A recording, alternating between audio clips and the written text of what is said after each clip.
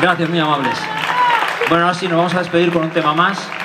Estamos sufriendo, estamos sufriendo más que cuando tocamos en la campa de Villalar. Bueno, nos vamos a despedir con un romance tradicional que aprendimos de los discos de Joaquín Díaz, aprovechando que hoy es su cumpleaños. Se la dedicamos con toda nuestra admiración y respeto al maestro Joaquín Díaz. Es un romance tradicional que habla de una molinera y un corregidor y que se titula La molinera y el corregidor.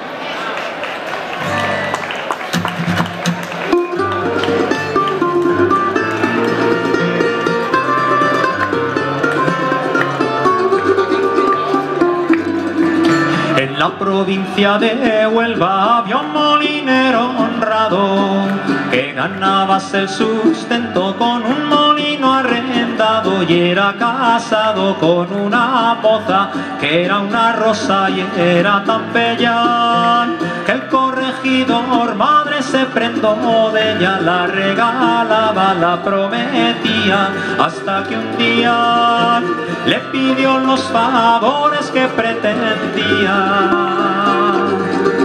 La molinera responde vuestros favores admito Solo siento si nos pilla mi marido en el garlito Porque el maldito tiene una llave Con la cual cierra, con la cual abre Cuando es su gusto.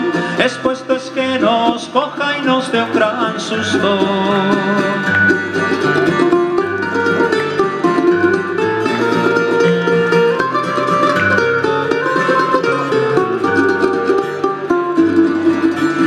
Responde el corregidor, me estoy haciendo una idea de mandarle en el molino algo que allí le entretenga, según lo digo será de trigo, porción bastante, que lo muela esta noche que es importante para una que tengo oculta bajo la multa de 12 duros, así será del modo estemos seguros. Allá por aquel molino ha pasado un pasajero que entendía de moler lo mismo que el molinero. Si tienes ansia por irte a casa, vete tranquilo, que esta noche sin falta se muele el trigo.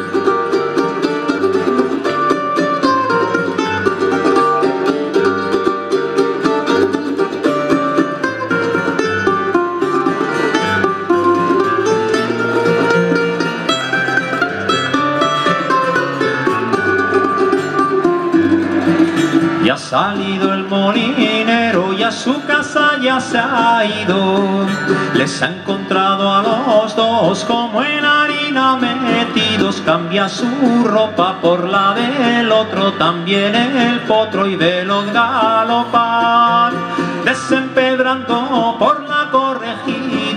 Llega a la casa, llama a la puerta Le abre un criado que estaba alerta. Como iba disfrazado no se da cuenta.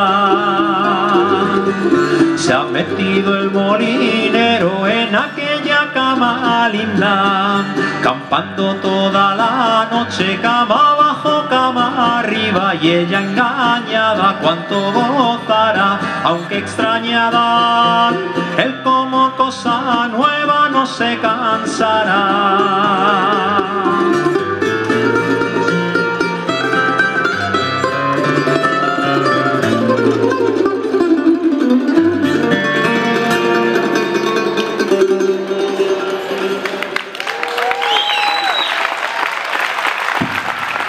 Muchas gracias.